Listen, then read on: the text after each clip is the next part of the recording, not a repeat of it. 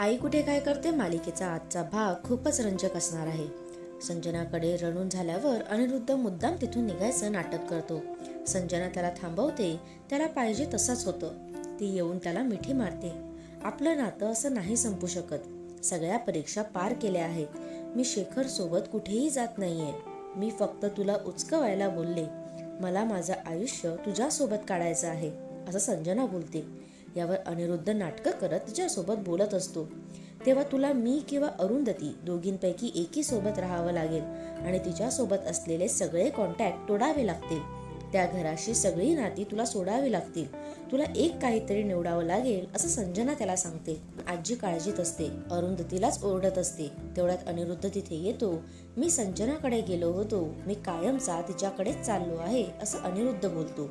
यावर आजी नाराज होते आणि त्याला कारण विचारते. ईशा सुद्धा त्याला कारण विचारते. यावर माझा नाईलाज आहे. मी आणि संजनाने लग्न करायचं ठरवलं आहे. मी पुन्हा नव्याने सगळं सुरू करायचा प्रयत्न करत होतो पण अरुंधतीने साफ नकार दिला. तिला मी या घरात तिच्या आयुष्यात नकोय. मग मी माझी पार्टनर शोधणारच ना? मी तिची माफी मागितली पाया पडलो. आणखी काय करू? असं बोलत तो अरुंधतीला थँक्यू बोलतो. पण तुझ्या मनात माझ्याबद्दल किती तिरस्कार आहे हे सुद्धा मला कळलं. यावर यू आर वेलकम असं अरुंधती त्याला बोलते. आणि मला आधी संजनाचा राग यायचा पण आता मला तिची दया यायला लागली आहे. तिला हे माहितीच नाहीये की ज्या माणसावर ती मनापासून प्रेम करते तो माणूस फक्त स्वतःचा विचार करतोय. तुम्ही फक्त स्वातंत्र्याच्या गप्पा मारू शकता. तुमची सोय बघणारी एक व्यक्ती हवी आहे तुम्हाला.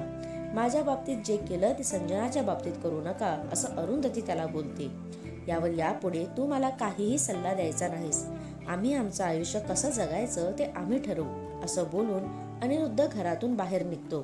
त्याच्यामागे ईशा आणि आजी त्याला मनवायला जातात. यावर आजी पुन्हा घरात येते आणि अरुंधतीला खूप सुनवते. तुझ्यासारखी कमनशिबी बाई मी कधीच पाहिली नाही. स्वतःच्या हातून स्वतःचा संसार मोडणारी. आता आयुष्यभर रडत बस असं आजी तिला बोलते. यावर ईशा सुद्धा अरुंधतीला खूप काही बोलते. मला बाबा इथेच राहायला हवेत. मला तुझा खूप राग येतोय असं बोलून ईशा वर निघून जाते. आजी सुद्धा तिच्यासोबत वर जाते. रात्री सगळे जेवायला बसतात. मला भूक नाहीये असं आजी बोलते. आप्पा तिला जेवायला सांगतात पण आजी काही ऐकत नाही. ईशा सुद्धा जेवणावरून उठते आणि तिच्या खोलीत जाते. यावर तू जेवून घे असं आप्पा अरुंधतीला बोलतात. तेव्हा एकदा विचार करू शकली असतीस असं अभि सुद्धा अरुंधतीला बोलतो. तू जर नाही म्हणालीस तर ते संजनाकडेच जाणार ना असंही तो बोलतो. यावर यांनी फक्त एकाच व्यक्तीकडे राहावं असं माझं ठाम मत आहे. पण गरज म्हणून आणि सोय म्हणून माझा वापर करायचा नाही. मी काय फक्त उष्टी खरकटी काढायला नाही आहे माझा निर्णयाचा मला पश्चाताप नाही आहे तुमचे निर्णय आणि मतं माझ्यावर लादू नका असं बोलून ती किचनमध्ये जाते. सकाळी अनिरुद्ध गाडी घेऊन घराजवळ येतो. इथून ईशासुद्धा बॅग घेऊन निघते. आजी तिला अडवते तेव्हा मी बाबांबरोबर जाते असं ती आजीला सांगते. मला त्यांच्यासोबत राहायचं आहे असं देखील ती बोलते. अरुंधतीला धक्का बसतो. उद्याच्या भागात आपण पाहणार आहोत. आजी आणि अरुंधतीमध्ये वाद होतो. नक्की काय घडणार आजच्या भागात जाणून घेण्यासाठी बघत रहा.